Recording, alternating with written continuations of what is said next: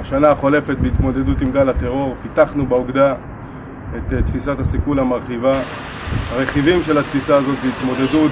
לא רק עם המחבלים עצמם, אלא עם מגוון רחב של אה, רכיבים שמשפיעים על הטרור, ביניהם אה, בתי המחבלים, הכספים שמשמשים לטרור, אמצעי הלחימה שמשמשים לטרור, הרכבים שמסיעים את המפגעים לפיגוע